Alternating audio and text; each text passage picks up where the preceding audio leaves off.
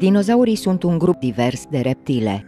Se pare că au apărut pentru prima dată în perioada triasică, cu milioane de ani în urmă.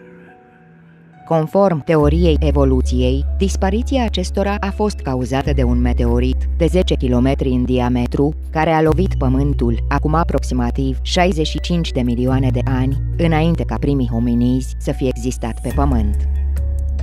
Când meteoritul a lovit planeta, aceasta a fost acoperită de un nor uriaș de praf care a blocat lumina soarelui și astfel a fost frig și întuneric timp de câteva luni. Odată cu dispariția plantelor, au murit atât dinozaurii cât și alte viețuitoare de pe Pământ. După ultimele cercetări, se crede că asteroidul s-a ciocnit de Pământ în apropiere de Mexic, unde există un crater submarin uriaș cu un diametru de 200 de kilometri. Dinozaurii pot fi împărțiți în două categorii, aviari sau păsări și dinozauri non-aviari. Folosind ca dovezi fosile, paleontologii au identificat peste 500 de genuri distincte și peste 1000 de specii diferite de dinozauri non-aviari. În prima jumătate a secolului 20, majoritatea comunității științifice credea că dinozaurii au fost lenți și cu sânge rece, Cercetările efectuate au indicat însă că toți dinozaurii erau animale active cu numeroase adaptări pentru interacțiunea socială. Unii erau erbivori, alții carnivori. Dovezile sugerează că oarea și construirea cuiburilor erau trăsături împărtășite de toți dinozaurii, aviari și non-aviari. Dinozaurii sunt reprezentați pe toate continentele. Nu există cultură în care să nu apară cel puțin o reprezentare a unei creaturi reptiliene de staturi gigantice. Fosilele de dinozaur, descoperite la începutul secolului al XIX-lea, au fost montate și au reprezentat atracții majore în muzeele din întreaga lume. Dimensiunile mari ale unor grupuri de dinozauri, precum și natura lor, aparent monstruoasă și fantastică, au asigurat apariția acestora în cărțile și filmele de aventură. În 1562, conquistadorii spanioli aduceau în Europa câteva artefacte misterioase sub forma unor pietre de andezit, care fusese regravate cu imagini ale unor animale necunoscute la acea vreme. Învățații vremii aveau să le considere reprezentări ale unor creaturi fantastice din miturile precolumbiene. Asta până în 1930, când în localitatea Ica din Peru, arheologii au descoperit în mormintele incașe alte câteva zeci de astfel de pietre cu reprezentări detaliate ale unor dinozauri considerați dispăruți în urmă cu milioane de ani. Uriașele reptile sunt reprezentate în compania oamenilor în scene domestice sau de luptă, în care războinicii înfruntă reptile gigantice. Un mozaic elenistic, vechi de cel puțin 2000 de ani, descoperit în secolul al XVII-lea în localitatea italiană Palestrina, prezintă înfățișări ale grecilor și etiopienilor aflați la vânătoare pe malul Nilului. În acest mozaic se poate vedea clar o reptilă ce seamănă foarte bine cu un dinozaur. Una dintre cele mai șocante ilustrări ale unei reptile preistorice a fost descoperită în Statele Unite ale Americii, în statul Utah, zonă populată înainte de misterioasa populație amerindiană Anasazi. Aceștia se credeau oamenii stelelor și dețineau numeroase secrete ale vieții. Până și cei mai sceptici dintre oamenii de știință au fost nevoiți să recunoască faptul că animalul gravat pe peretele unei stânci seamănă izbitor cu un brontozaur. Deși s-a sugerat că animalul ar fi o reprezentare a unei ființe imaginare din folclorul local, asemănarea sa cu uriașul ierbivor de acum peste 65 de milioane de ani este evidentă și ridică încă multe semne de întrebare. În scrierile străvechi avem destule trimiteri la balauri sau dragoni, pentru că așa erau denumiți dinozaurii înainte.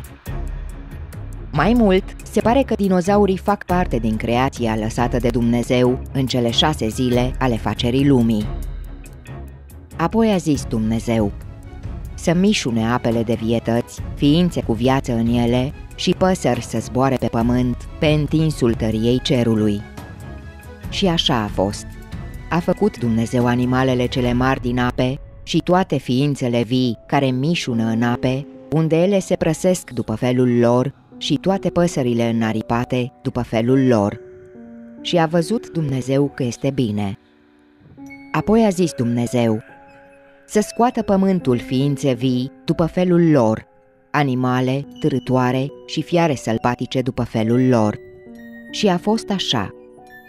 A făcut Dumnezeu fiarele sălbatice după felul lor și animalele domestice după felul lor și toate târătoarele pământului după felul lor. Și a văzut Dumnezeu că este bine. Așadar, Dumnezeu a adus la viață toate plantele, pomii și toate ierburile în ziua a treia, păsările cerului și toate vietățile din apă în ziua a cincea, iar toate animalele de pe pământ și pe om în ziua a șasea afacerii. Deci și dinozaurii au fost creați odată cu celelalte animale. Dacă nu ar fi fost așa, atunci nici oamenii nu ar mai fi povestit de interacțiunea directă cu dinozaurii. Iată câteva exemple din Sfânta Scriptură, din care se vede clar că dinozaurii și oamenii au fost la un moment dat contemporani. În cartea lui Iov, la capitolul 41, se face o descriere cuprinzătoare a unui astfel de dinozaur, Leviatanul. Iată numai câteva atribute ale Leviatanului.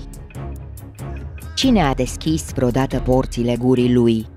Zimții lui sunt îngrozitori, Spinarea lui este ca un șirac de scuturi pe care le-ai fi întărit și pecetluit puternic. Ele sunt strânse unul într-altul atât de tare că nici vântul nu pătrunde printre ele. Fiecare e lipit de cel de lângă el și se țin așa și nu se mai despart. Din strănutul lui scapără lumină și ochii lui sunt roșii ca ploapele zorilor. Din gura lui ies parcă niște torțe aprinse și izbucnesc valuri de scântei. Din nările lui iese fum ca dintr-o căldare pusă la foc și care fierbe.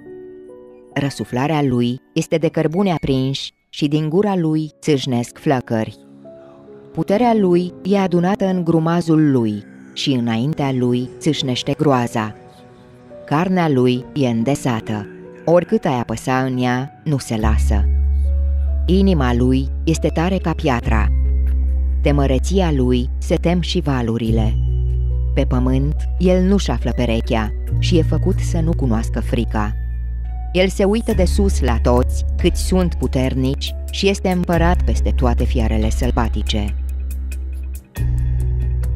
Descrierea leviatanului este înfricoșătoare și nu se aseamănă cu a niciunui animal existent astăzi. După citirea textului cu atenție, putem ajunge la o concluzie privind identitatea animalului prezentat în acest capitol din cartea lui Iov. Uitându-ne la dovezile pe care textul le prezintă, vedem că această creatură este un animal care trăiește și în apă, dar și pe uscat. Are un gât foarte puternic, urmat de o falcă foarte masivă și o gură imensă. Are picioare foarte mari și puternice, iar spatele lui este acoperit cu scuturi și este de dimensiuni impresionante. Având această descriere la îndemână, putem spune că Dumnezeu îi descrie lui Iov un dinozaur. Interpretările acestui capitol sunt multe. Unii spun că ar fi vorba de un monstru marin cu mai multe capete, alții zic că este vorba despre o balenă, alții spun că a fost un șarpe imens iar alții spun că e doar o metaforă. În Psalmi, capitolul 104, versetele 24-26, stă scris Ce mărețe sunt lucrările tale, Doamne, toate le-ai făcut cu înțelepciune.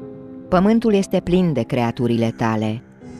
Iată marea cât de încăpătoare și de întinsă este. În ea mișună viețuitoare fără număr, viețuitoare mici și mari.